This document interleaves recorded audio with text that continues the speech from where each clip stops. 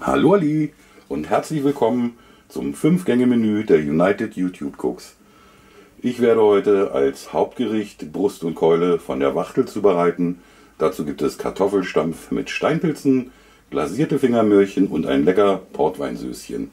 Ich benötige dafür heute Wachtelkeulen und Wachtelbrust. Die Wachtelbrust werde ich jetzt gleich nochmal häuten. Äh, die Haut werde ich separat braten und äh, dazulegen. Dann werde ich die Brust in Speckstreifen hier, in Frühstücksspeckstreifen einwickeln. Vorher noch ein bisschen salzen, vorsichtig salzen, weil der Speck ja schon Salz hat. Die Keulen werden nicht eingewickelt, die werden etwas stärker gesalzen und gepfeffert. Beides dann im äh, Butterschmalz scharf anbraten. Die scharf angebratenen Teilchen dann wieder zurückgeben in diese Schälchen, Alufolie rüber, im Backofen nachgaren. Für das Kartoffelstampf nehme ich Kartoffeln, die werden ganz normal gekocht, kommen dann nachher durch die Kartoffelpresse durch. Dann gebe ich noch ein bisschen Steinpilze dazu. Die werde ich, das sind jetzt hier etwa 5 Gramm Trockengewicht, die werde ich jetzt in lauwarmem Wasser gleich einweichen. Werde sie dann nachher ausdrücken, ein bisschen in Butter noch anbraten. Zum Kartoffelstampf dazugeben, dann auch noch ein bisschen Milch dazu, dass das Ganze ein bisschen geschmeidiger wird. Etwas Petersilie dazu und dann nochmal mit Salz abschmecken. Die Möhrchen werde ich in Salzwasser 5 Minuten köcheln lassen. Dann nehme ich sie raus, werde in einen separaten Topf nochmal Butter und Zucker karamellisieren, die Möhrchen dazugeben und noch etwas Kochwasser von den Möhrchen und so lange dann in diesem Topf äh, vor sich hin köcheln lassen, bis das Wasser komplett verkocht ist. Dann haben sie diese schöne glänzende Oberfläche. Das Portweinsüßchen dafür werde ich dann nachher äh, den Portwein hier etwa 100 Milliliter nehmen, den etwas einkochen lassen, dann aufgießen mit dem Wildfond, das Ganze auch nochmal mit Pfeffer und Salz abschmecken und eventuell, ja nicht eventuell, auf alle Fälle noch ein bisschen Butter dazu und eventuell noch mal ein bisschen mit Stärke binden. So, ich werde mir das Ganze jetzt mal vorbereiten und zeige dann gleich, wie ich es zubereite. Als erstes werde ich jetzt mal die Pilze einweichen. Die gebe ich einfach hier in eine Tasse rein. Mache lauwarmes Wasser darüber. Und zwar mache ich immer dieses ganze Näpfchen voll und stelle dann oben, damit die also auch gut runtergedrückt werden, etwas zum Beschweren noch eine Tasse damit über und lasse die dann jetzt so 20, 30 Minuten aufquellen. In der Zwischenzeit werde ich jetzt die Kartoffeln schälen und die Möhrchen putzen und die Wachtelbrüstchen enthäuten. Die Brüstchen sind jetzt enthäutet. Ich habe sie nochmal in der Mitte geteilt und werde sie jetzt in den Speck einwickeln. Die ersten zwei habe ich schon. Dazu nehme ich mir einfach so die Wachtelbrust, halte sie so, lege so ein Stückchen über und wickel das dann einfach so um, dass möglichst alles bedeckt ist. So.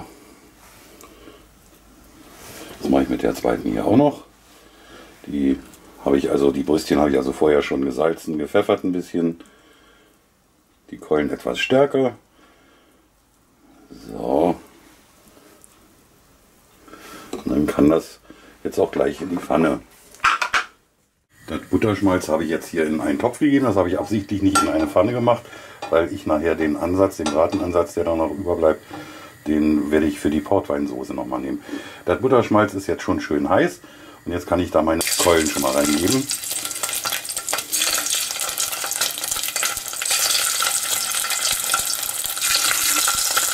So, das lasse ich einen kleinen Moment erstmal anbraten. Jetzt können dann auch die Wachtelbrüstchen damit zu. Ich mache das immer so, dass die Seite, die offene Seite vom Speck nach unten kommt. Dann kann das ein bisschen ankleben.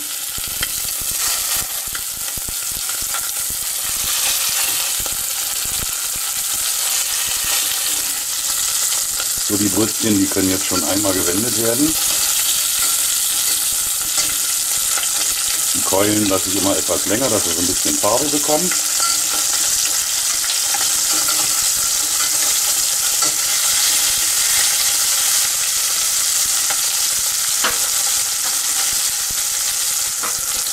Dann ruhig auch noch mal so ein bisschen auf die Seite legen.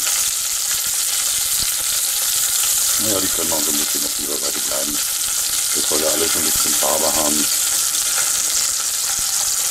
Jetzt werde ich schon mal die Keulen nehmen.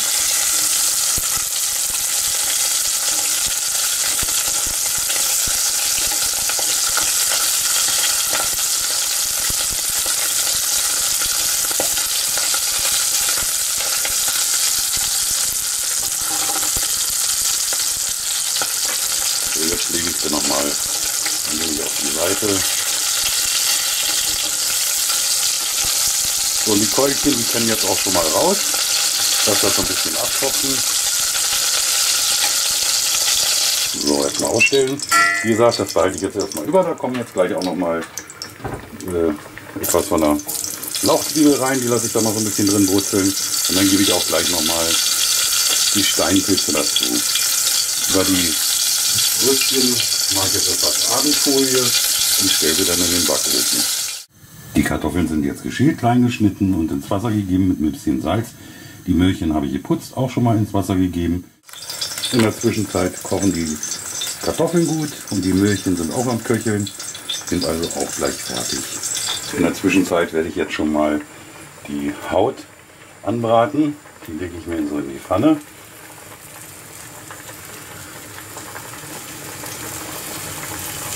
Und stelle dann einfach den Kartoffel, Kartoffeltopf da oben auf. Ja, das ist einfach, dass die dann so ein bisschen Druck von oben haben und auch schön flach bleiben. Ja, und die Kartoffeln können auch ein bisschen nachgaren. Die Kartoffeln, die kochen jetzt hier oben inzwischen schon. Ja, die Haut sieht sehr schön aus, sie ist schön glatt geblieben. Jetzt stelle ich die Kartoffeln mal beiseite. Ich brauche natürlich jetzt erstmal noch ein Tellerchen dann die gebratene Haut erstmal auf.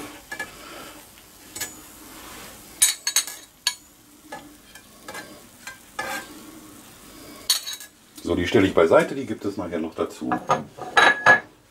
Das wird jetzt alles nochmal erhitzt. Die Lauchzwiebelchen, die können hier ruhig noch drin bleiben, die sind ja relativ groß.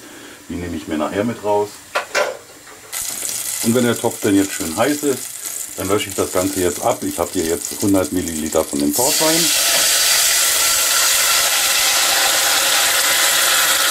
Und lasse das Ganze jetzt etwa auf äh, zwei Drittel einköcheln. Zwischendurch dann ruhig mal so ein bisschen den Bratensatz unten lösen. Das gibt noch mal ein bisschen Aroma, ein bisschen Geschmack.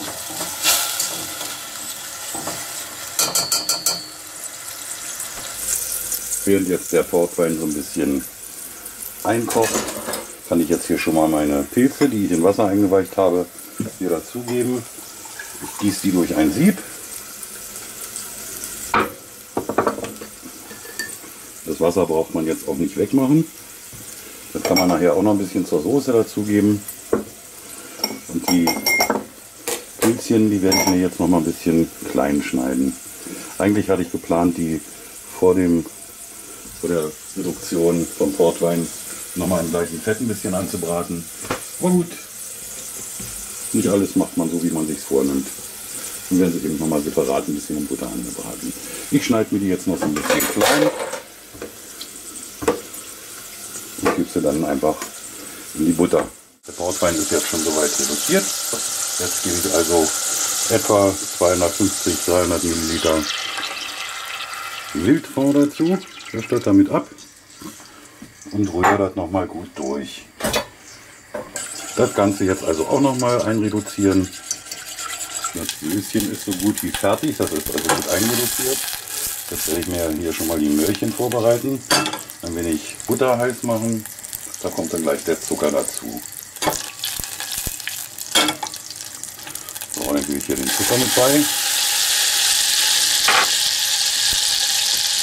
Und das Ganze dann so ein bisschen karamellisieren lassen. Aber vorsichtig, das wird ziemlich schnell braun. So, das reicht dann auch schon. Da gebe ich jetzt meine Möhrchen wieder mit rein. Schwenke die einmal schön durch.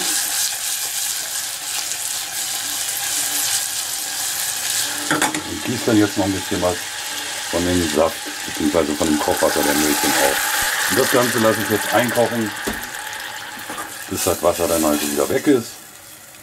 Und dann ist es auch schon fertig. So, ich werde jetzt mal den Kartoffelstampf machen. Die Kartoffeln habe ich noch mal so ein bisschen abtropfen lassen. Als erstes gebe ich die jetzt in meine Presse. Ich könnte jetzt also dieses Teilchen hier rausnehmen.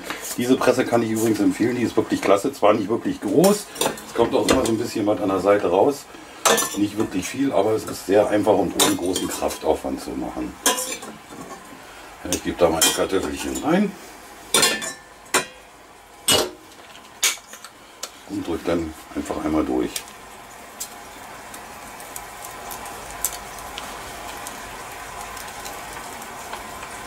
So.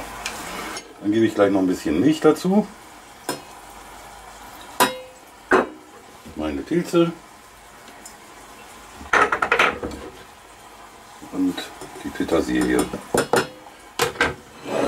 Haben wir das Ganze schön durchgemengt.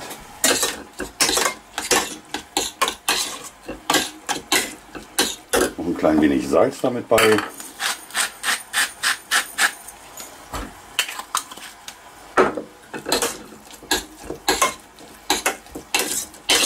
Und dann ist das Ganze hier auch schon fertig. Jetzt geht es nochmal an das Söschen. Da gebe ich jetzt ein paar Butterflocken dazu. Und zwar eisekalte. Das heißt, diese eisekalte Butter, die soll jetzt eigentlich dazu beitragen, dass die Soße etwas sämig wird. Meistens klappt, aber nicht immer. Ja, die darf dann auch nicht mehr aufgekocht werden. Mal so stückchenweise dazugeben. Wichtig ist, dass die eisekalt ist. Ja, so ein klein bisschen sämig wird es jetzt schon.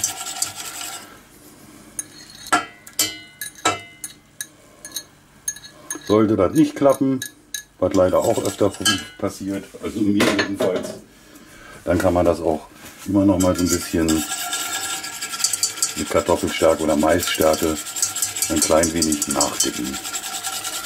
Ja, so richtig Würz heute hier nicht. Ich möchte jetzt aber auch nicht noch mehr Butter reingeben. Das ist vom Geschmack her eigentlich schon genügend. Und darum habe ich mir hier schon ein wenig Speisestärke vorbereitet. Ich habe jetzt hier mal so einen halben Teelöffel genommen.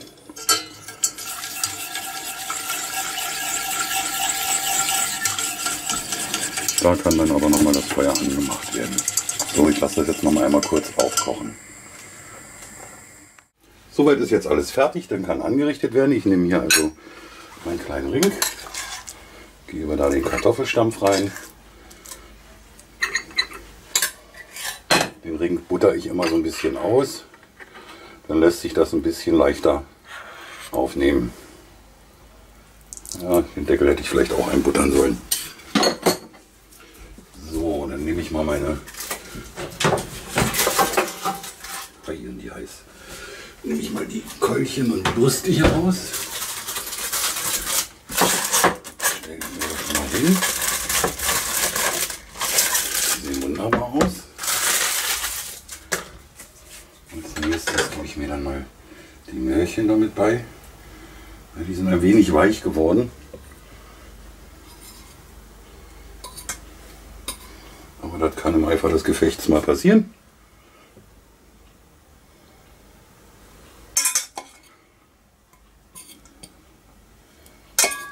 Und die letzte auch noch.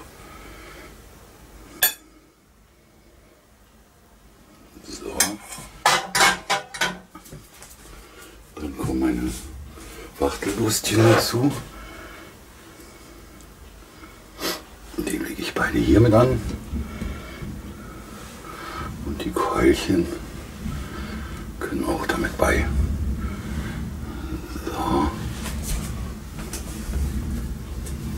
Und dazu kommt jetzt noch ein wenig Soße.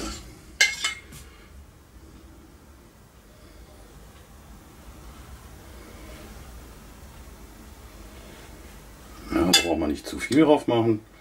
Die kann man dann auch noch mal an den Tisch mit zustellen. Dann noch ein wenig vom Pilzkraut und ein klein wenig Petersilie oben drauf. So, jetzt hätte ich beinahe noch vergessen, diesen wunderbaren Wachtelhaut-Chips und das war es dann soweit. So werde ich das jetzt servieren. Das ist wie gesagt der Hauptgang. Als Nachtisch kommt dann jetzt nochmal von Lila Kuchen frittiertes Vanilleeis. Ich wünsche jedenfalls einen sehr guten Appetit, viel Spaß beim eventuellen Nachkochen, auch viel Spaß beim Anschauen der anderen Videos, die zu, dieser, zu diesem Fünf-Gänge-Menü gehören. Den ersten Gang, den hat ja Hanna Kocht einfach gemacht. Da gab es dann diese leckeren Lachs-Zucchini-Pastetchen. Rons Kitchen hat eine ganz leckere Zitronen-Parmesansuppe gemacht. Kochen mit Schau. Hatte ein pochiertes Schweinefilet in Sesam gewälzt. Ja, und zum Nachtisch halt von Lila Kuchen das wunderbar frittierte Vanilleeis mit fruchtiger Soße. Ich hoffe, es hat Spaß gemacht. Ich hoffe, es schmeckt und würde mich freuen, wenn wir uns wiedersehen. Bis dann. Tschüss.